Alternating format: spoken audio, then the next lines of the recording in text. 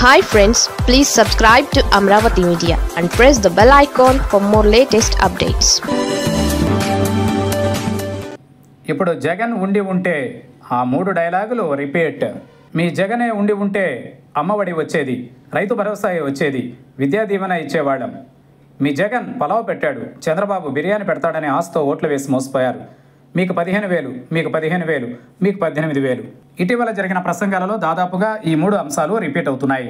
Press meet పెట్టినా పరామర్శకు వెళ్ళిన ఎంపీటీసీలు జడ్పీటీసీలతో మీటింగ్ జరిగిన ఈ మూడు అంశాలను ప్రధానంగా ప్రస్తావిస్తున్నారు జగన్. తాజాగా ఆయన మాడుగుల నియోజకవర్గ ఎంపీటీసీలు జడ్పీటీసీలతో తాడేపల్లిలోని క్యాంప్ కార్యాలయంలో సమావేశమయ్యారు. మీ జగనే ఉండి ఉంటే ఈ పాటికే రైతు భరోసా అందేదని స్కూల్కి వెళుతున్న ప్రతి పిల్లాడి తల్లికి అమ్మఒడి అందేదని సున్నా వడ్డీ నిధులు కూడా జమ అయ్యేవని విద్యా దీవెన వసతి దీవెన వచ్చేవని మత్స్యకార భరోసా వాహన మిత్ర కూడా వచ్చి ఉండేవని చేనేతలకు నేతన్న నేస్తం కూడా ఈపాటికే జమ అయ్యేదని గుర్తు చేశారు. ప్రతి ఏటా ఆగస్టు నెలాఖరు నాటికి ఇవన్నీ వైసీపీ ప్రభుత్వం ఇచ్చేదని చెప్పారు. ఇప్పుడు తాను అధికారంలో లేకపోవడం వల్ల ఈ పథకాలన్నీ అమలు కావడం లేదని ఆవేదన వ్యక్తం చేశారు జగన్.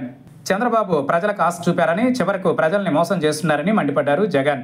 గతంలో ఆర్థిక సంక్షోభం ఉన్నా వైసీపీ ప్రభుత్వం సాకులు చూపలేదన్నారు ఆయన. మాట తప్పకుండా మేనిఫెస్టోనే అమలు చేస్తామని వివరించారు. ఎన్నికలలో ఇచ్చిన మాట కోసం కట్టుబడి పనిచేస్తామని ప్రతి ఇంటికి మంచి చేస్తామన్నారు. చేసిన మంచి ఎక్కడికి పోదని వచ్చే ఎన్నికలలో అదే మనకు శ్రీరామ రక్షలా ఉంటుందన్నారు జగన్. చంద్రబాబు మోసాలను చూస్తున్న ప్రజలలో ఆగ్రహం మొదలవుతోందని ఐదేళ్ళ తర్వాత వచ్చే ఎన్నికలలో వైసీపీదే ఘన విజయమని చెప్పారు జగన్.